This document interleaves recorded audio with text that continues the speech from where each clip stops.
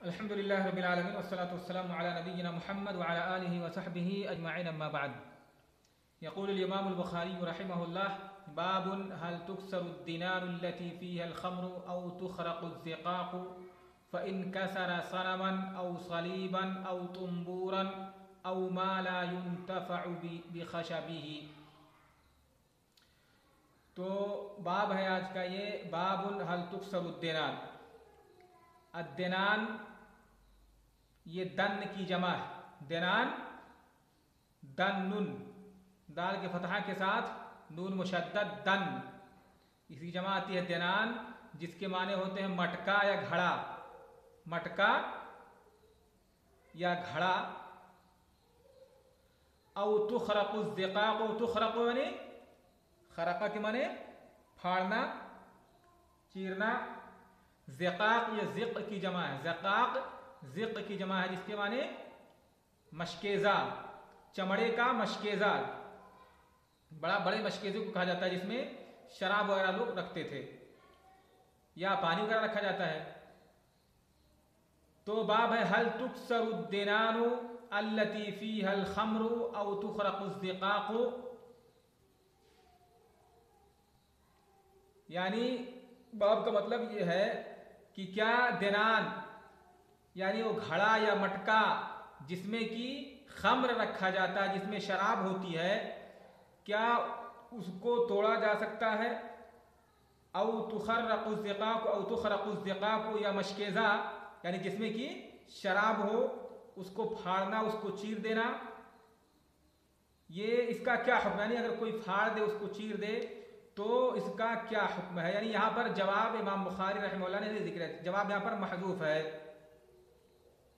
यानी अगर तोड़ दिया जाए मटके को, जिसमें कि शराब रखी जाती है, या मशकेज़ा अगर उसको फाड़ दिया जाए तो क्या आदमी उसका जामिन होगा या नहीं? जवाब इसका इमाम बुखारी रहमल्ला ने नहीं ज़िक्र किया है। जवाब क्यों नहीं ज़िक्र किया है? क्योंकि इसमें इख्तलाफ है। और दूसरी बात यह कि इसमें तफसील है। मुतलक तौर पर नहीं कहा जाएगा कि जायज़ है या मुतलक तौर पर क्या है? जायज़ नहीं है, या आदमी जामिन होगा या जामिन नहीं होगा। तो इसमें तफसील है, सही बात यह है कि इसमें तफसील है, अगर इस तरह की चीज़ें, बर्तन या मटका या मशकेजा, जिसमें कि शराब वगैरह रखा जाता है, अगर उसमें से शराब को फेंक दिया जाए और फिर उसको धुल दिया जाए तो बर्तन क्या हो जाता है? पाक हो जा, वो बर्तन पाक हो जाते हैं और फिर उससे इस्तेफादा करना, उससे फ़ायदा उठाना ये जायज़ हो जाता है। तो ऐसी सूरत में उसको तोड़ना या उसको फाड़ना क्या होगा ये? उन्हें उसको जाय करना, ये जायज़ नहीं होगा। ठीक है? और इमाम बुखारी रहमल्ला ने ये बात कायम करके इशारा किया है, हल तुखसरुद्दीनान लतीफ़ी अलखम्र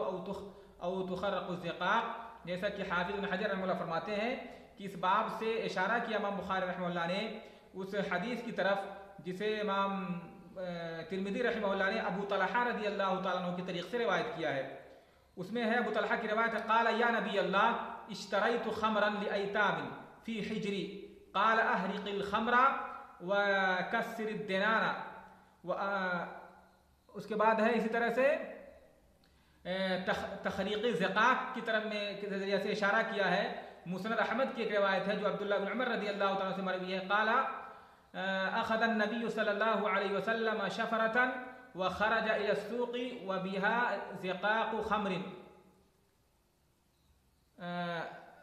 जुबिलत मिनशामी फ़शक़ बिहा माकान मिन तिल का ज़क़ाक़ यानी इस दोनों दोनों बाब बाब में जो दिनार और ज़क़ाक़ इससे इशारा किया है इमाम बुखारी रहमल्ला ने उन दोनों रिवायतों की तरफ़ जिसमें किया है कि अल्लाह के रसूल सल्लल्लाहु अलैहि वसल्लम से अबू तलहा अंसारी ने कहा, अल्लाह के रसूल, मैंने कुछ यतीम बच्चों का, की शराब है जो मैंने ख़रीद रखी है और मेरे मेरे मेरे गोद में है, यानी मेरी किफ़ालत में है वो। तो अल्लाह के रसूल ने फरमाया कि, यानी शराब को तुम फेंक दो, उड़ेल दो और घड़ों को, यानी जो मटका वगैरह जिसमें शराब रखी जाती है, उसको तोड़ दो। और मुसरत अहमद की रिवायत में है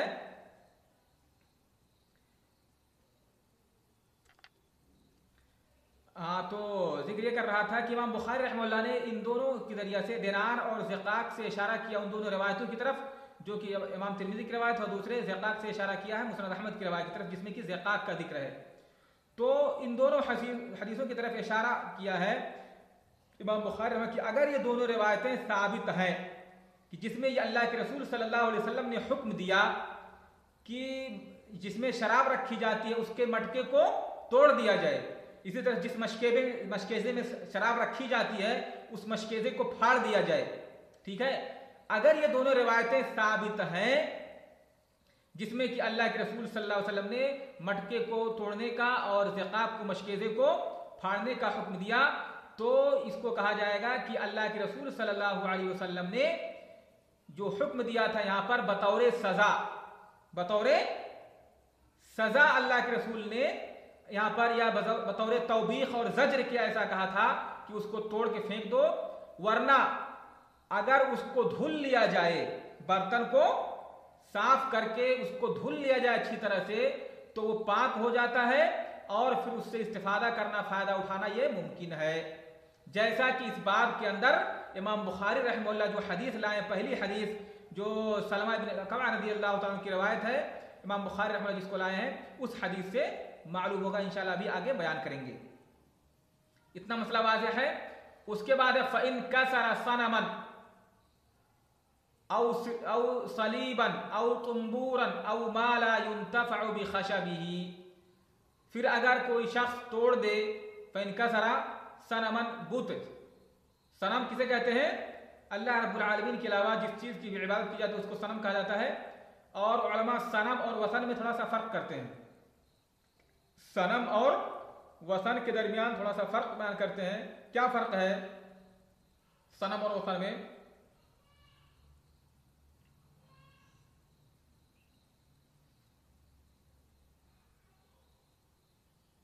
सनम की इबादत नहीं की जाती है। सनम और एक वसन, सनम और वसन। दोनों में क्या फ़र्क है? हम्म।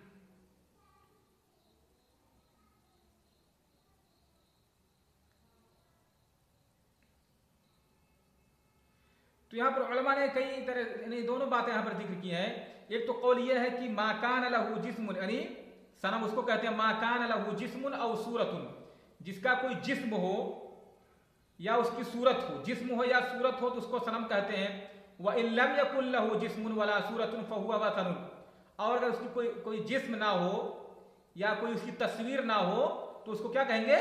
वसन जिस चीज़, यानी अल्लाह के अलावा जिसकी इबादत की जाए अल्लाह के अलावा जिन चीज़ों की इबादत की जाती है, उन चीज़ों में से अगर उसकी, उसका कोई जिस्म है, ढांचा है, या तस्वीर है तो उसको क्या कहेंगे? सनम। और अगर कुछ ऐसा कुछ नहीं है, ना ढांचा है, ना कोई तस्वीर है तो उसको क्या कहेंगे? वसन। एक कौल ये है। ठीक है? और दूसरा कौल ये है कि हर वो चीज़ जिसके कोई मतलब है जुस्सा हो जिस्म हो यानी। दूसरा कौल ये कि जिसका कोई जिस्म हो ढांचा हो चाहे वो सोने का हो चांदी का हो लकड़ी का हो या मिट्टी का हो जिस चीज़ का पत्थर का हो जैसे आदमी की शक्ल होती आदमी की, की तरह से इस तरह कोई जिस्म हो ढांचा हो तो उसको कहेंगे वसन। और सनम जिसकी सिर्फ़ क्या हो सूरत हो तस्वीर हो जिस जिसकी सिर्फ़। यानी उसका ढांचा है जिसमें ना हो तो उसको क्या कहेंगे? सनम। और बाज ने दोनों में कोई फ़र्क नहीं किया। सनम और वसन। सनम का इतलाक वसन पर भी होता है वसन का इतलाक सनम पर भी आमतौर से जो फ़र्क करते हैं कि वसन जो होता है इसका कोई, यानी इसकी कोई तस्वीर, कोई शक्ल इसकी नहीं होती। जैसे मसलन, एक, जो बुत वगैरह इस तरह बनाते हैं, जिसकी तस्वीर या जिस्म की तरह, कोई जिस्म हो, तस्वीर यानी शक्ल हो, इंसानी शक्ल की तरह से। तो उसको कहेंगे सनम, और जो कि पत्थर है या कोई ज़मीन है, जैसे कोई होता है ना थान है, उसको वहाँ जाके इबादत करते हैं लोग। तो कब्र वगैरह है, बराबर है, वहाँ जाकर के लोग इबादत करते हैं तो उसकी कोई शक्ल नहीं होती। तो उसको कहते हैं वसन, और बाद आलिम कोई फ़र्क नहीं करते हैं। तो फ़िन का सरा सनमन, अगर कोई शख्स किसी बुत को तोड़ दे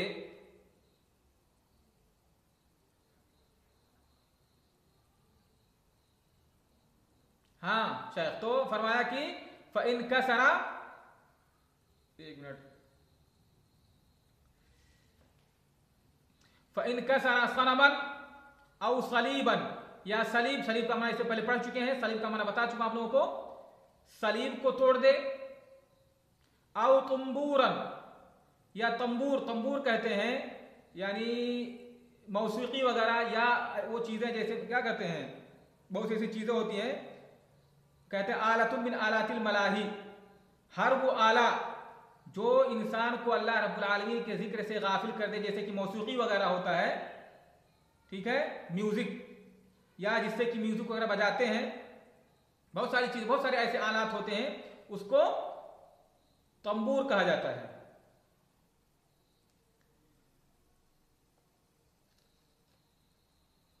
अवशई अनमाला खशबी या कोई और ऐसी चीज़ तो यहाँ पर जिक्रुल खास से जिक्रुल आम में बादल खास है यानी पहले खास को ज़िक्र करके, फिर आम को ज़िक्र करे, या कोई भी ऐसी चीज़ हो कि जिसके लकड़ी से कोई फ़ायदा नहीं होता। यानी कोई ऐसी चीज़ है, कोई ऐसा आला है, यानी मौसीकी वगैरह या बाजा या ढोल, ताशा जो भी होता है, या उसके लकड़ी से या उसका जो बनावट है, उससे कोई फ़ायदा नहीं है सिवाय कि उसका इस्तेमाल सिर्फ़ मासीत में होता है। अल्लाह रब्बुल की नाफरमानी या जो चीज़ अल्लाह रब्बुल से गाफिल कर दे, उसके अलावा और कोई फ़ायदा उस चीज़ का नहीं है। ऐसी कोई चीज़ अगर कोई शख्स तोड़ दे तो हल अला यदमन हल यजूज का अमला क्या ऐसा जायज़ है या नहीं? या इसी तरह से फिर वो शख्स उसका जामिन होगा या जामिन नहीं होगा? यानी उसको उसका जुर्माना अदा करना पड़े, उसकी कीमत की अदायगी करनी होगी या नहीं होगी? यहाँ पर भी इमाम बुखारी रहमल्ला ने जवाब नहीं ज़िक्र किया, उसकी सराहत नहीं की है, क्योंकि इसमें इख्तलाफ है और इख्तलाफ की वजह यह है कि इसमें तफसील है। अगर वो चीज़, जैसे जिससे पहले बता चुका हूँ, सलीब है या कोई सनम है, अगर किसी ऐसे शख्स की है जो जिम्मी है, जिनसे हमारा मुआहदा है तो फिर ऐसी सूरत में उसका तोड़ना जायज़ नहीं होगा।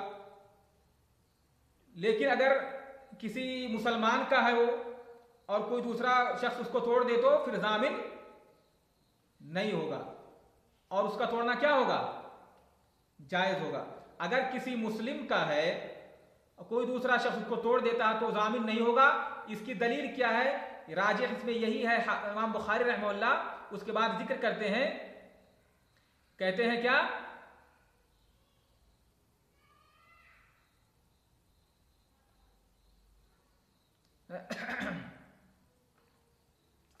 तो इमाम बुखारी उसके बाद कहते हैं वो उतिया शुरैहुन फ़ी तंबूरिन कुसिरा फलम यकदी फीही बिशैइन। व उतिया शुरैहुन फ़ी तंबूरिन कुसिरा फलम यकदी फीही बिशैइन। यहाँ पर शुरैह काजी शुरैह मुराद हैं। शुरैह बिन हारिस अल किंदी रहमहुल्लाह शुरैह बिन हारिस अल किंदी अदरकन नबी सल्लल्लाहु अलैहि वसल्लम वलम यलकहू। इन्होंने नबी करीम सल्लल्लाहु अलैहि वसल्लम का ज़माना पाया था, लेकिन इनकी मुलाकात अल्लाह के रसूल सल्लल्लाहु अलैहि वसल्लम से नहीं हो सकी। तो ऐसे रावी को या ऐसे शख्स को क्या कहा जाता है?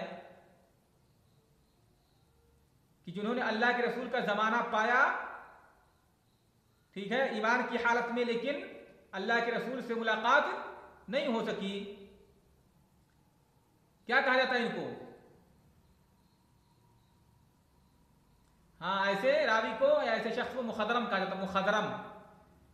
तो ये शुरैह बिन हारिस अलकिंदी मशहूर हैं, काजी हैतुमर रज़ी अल्लाह तु ने इनको अपने दौरे खिलाफत में, कोफा का काजी मुकर किया था। कोफा के मशहूर काजी हैं।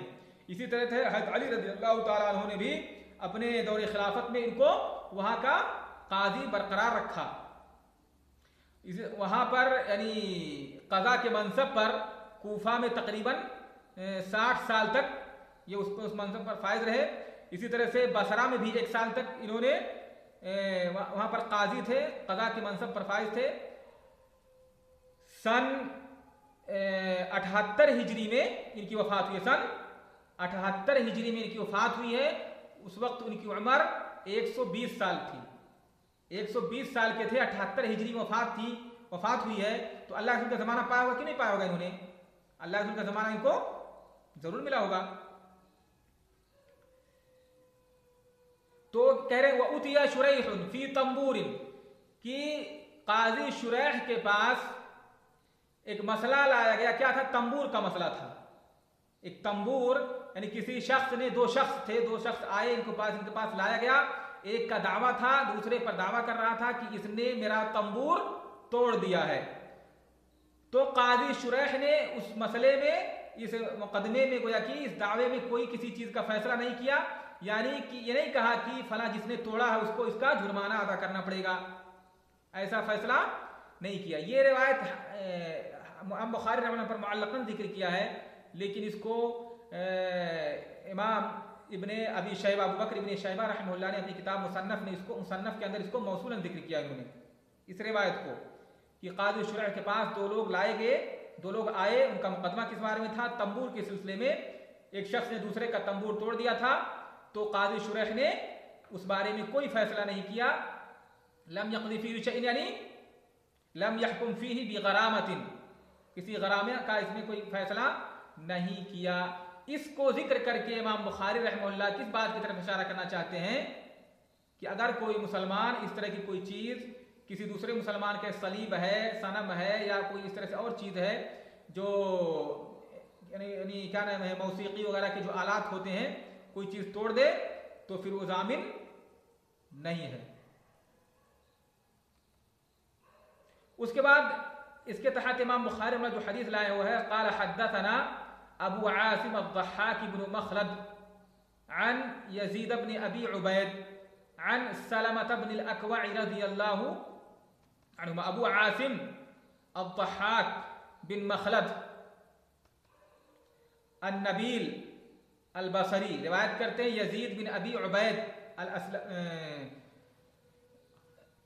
किससे रिवायत करते हैं यजीद हाँ कहाँ चला गया? यजीद बिन अबी उबैद से रिवायत करते हैं, जो असलमी है, अन सलमा इब्न अकवा, अन सलमा इब्न अकवा, जो सलमा बिन अमर बिन अकवा असलमी रदी अल्लाह तआला अबू मुस्लिम, इनकी कुन्नियत अबू मुस्लिम।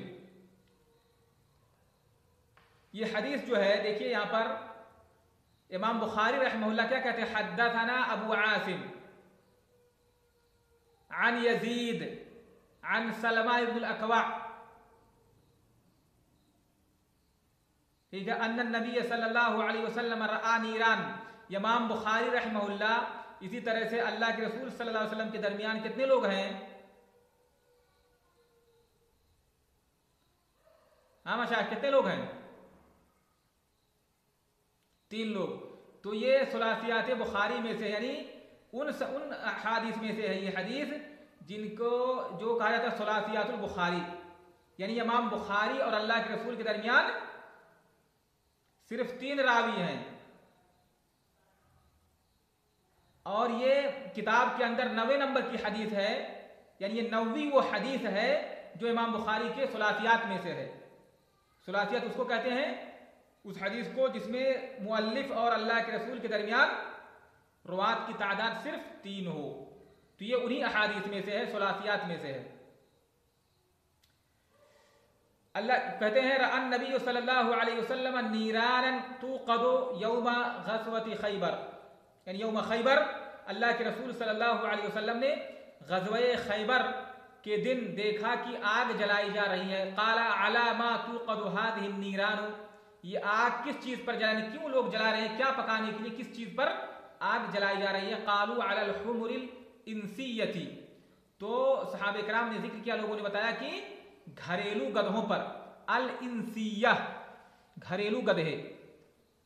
यहाँ पर इंसिया, इसी तरह से अनसिया, दोनों तरह से पढ़ा गया। अनसिया और इनसिया दोनों बात यहाँ पर कही गई है कि ये इनसिया या अनसिया किससे मुश्तक है? ये तो कहा गया है कि अनसुन से मुश्तक है। अनस या अंस, दोनों पढ़ा जाता है। नून के सुकून और फतह के साथ अनसुन या अनसुन, जिसके माने क्या होते हैं? उनसियत के। जिसके माने? उनसीयत के हैं, यानी ऐसे गधे पालतू गधे जो इंसानों के दरमियान जिनको पाला जाता है और इंसानों से जो मानूस होते हैं। तो ये उन जो है, किसका जिद है? वहशी का जिद है, वहशियत का जिद है ये। ठीक है? अनसिया पढ़ेंगे अगर अलिफ के फतहा के साथ तो क्या हो जाएगा? अलिफ के फतहा के साथ पढ़ेंगे, इसी तरह नून के फतहा के साथ अनासिया तो ये वहशियत का जिद होगा। यानी माखूद किससे है? अनसुन से या उनसुन से। अलिफ पर जम्मा भी पढ़ा जाता उन्स। और दूसरी बात कही गई है कि यहाँ पर हमजा पे क्या है? कसरा है, यानी इनसी या जो निस्बत है, किस बात की, किसकी तरफ़? इंस की तरफ़, जिसके माने? इंसी यून यानी आदमी यून इंसान। तो अलहमुल इंसिया यानी इंसानी गधे यानी वो गधे जहाँ जो इंसानों के माबैन रहते हैं। तो कहा कि घरेलू गधों पर, यानी घरेलू गधों के गोश्त पर यह आग जलाई रही घरेलू गधों का गोश्त पकाया जा रहा है। काला इक्सरूहा व अहरीक अल्लाह उसने फरमाया उसको तोड़ दो और हाडियों को उड़ेल उड़ेल दो। कालू अला नुहरीकुहा व नगसिलुहा सहाबे कराम ने कहा अल्लाह के रसूल वसल्लम, क्या हम इसे, यानी उड़ेल ना दे? वना गसिल हुआ और उसको धुल दे, यानी गोश्त को उड़ेल करके, हाडियों को उड़ेल करके, गोश्त फेंक करके, क्या उसको धुल ना ले? यहाँ पर साहब कराम ने क्यों ये कहा? अल्लाह ने कहा कि उसको तोड़ दो और उसमें जो कुछ है उसको उड़ेल दो। तो सहाबे कराम यहाँ पर क्यों कह रहे हैं कि अल्लाह क्या हम उसको उड़ेल के धुल ना ले? यानी आपने तोड़ने को कहा था ना तो उन्होंने कहा, क्या अल्लाह अगर हम ना तोड़े, तोड़ने के बजाय उसको धुल के रख लें तो जबकि अल्लाह रसूल का हुक्म क्या है? एक सिरूहा तोड़ दो। तो साहब कराम ने क्यों ये बात कही? क्योंकि सहाब कराम ने यहाँ पर सयाक से अल्लाह के रसूल के इस हुक्म को यह समझा कि अल्लाह के रसूल जो बात कह रहे हैं, ये वजूबी नहीं है। ठीक है? तो सहाब कराम ने इसलिए कहा कि अल्लाह रसूल उसको हम धुल करके फेंक करके धुल लें तो क्या ऐसा कर सकते हैं? काला इगसिलू तो आपने फरमाया कि धुल लो।